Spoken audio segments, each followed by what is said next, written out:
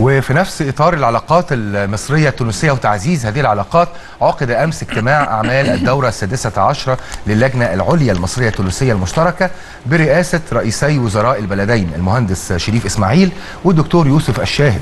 أشاد رئيس الوزراء المصري المهندس شريف إسماعيل بعلاقات التعاون المتميزة جدا بين البلدين معربا عن تطلعه أن تسهم الزيارة في الارتقاء بأطر التعاون الثنائية في مختلف المجالات وأن تسفر نتائج اللجنة المشتركة وتوصياتها عن آليات جديدة تعمل على دعم حركة التبادل التجاري والاستثمارات المتبادلة بين البلدين بما يتناسب مع طبيعة وتميز العلاقات بين مصر وتونس.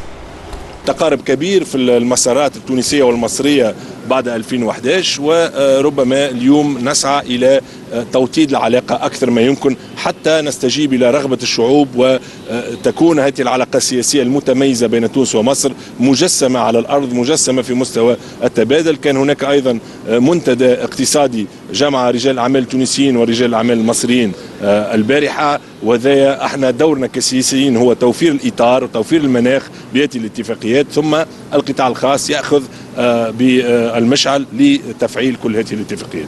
وإن شاء الله في اجتماع للمعنيين بهذا الأمر خلال هذا الأسبوع والتنسيق مستمر مع الجانب التونسي على أعلى المستويات فيما يخص القضايا التي تهم المنطقة سواء كان في سوريا أو اليمن أو ليبيا تحديدا. آه هذا التنسيق مستمر وتشاور مستمر وهناك اتفاق آه كامل على الرؤية بالنسبة لهذه المشاكل. مع مع رئيس الوزراء من وجهة نظرك أهمية هذا الاجتماع وأهم ما الاجتماع هذا هو الاجتماع طبعا دي اللجنه العليا المشتركة التونسية المصرية بتنعقد في مصر عقب انعقادها في آخر مرة كان في تونس في سبتمبر 2015 دولة الرئيس أشار إلى كل الموضوعات اللي تم المناقشة فيها.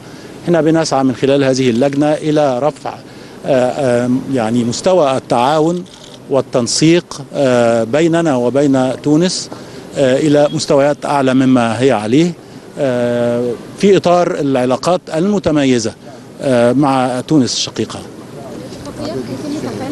التفعيل بمجرد التوقيع ولكن أهم شيء هو أن السادة الوزراء تبادل الزيارات وتبادل الاجتماعات وعقد الاجتماعات والمتابعة المستمرة والتأكد من أننا نسير في الإطار الصحيح وأننا نحقق وننفذ ما جاء في هذه الاتفاقيات والإطار العام مع تم الاتفاق عليه في اللجنة الحالية. هو 10 اتفاقيات. شاركتم رئيس الحكومة فرحة الفراشة.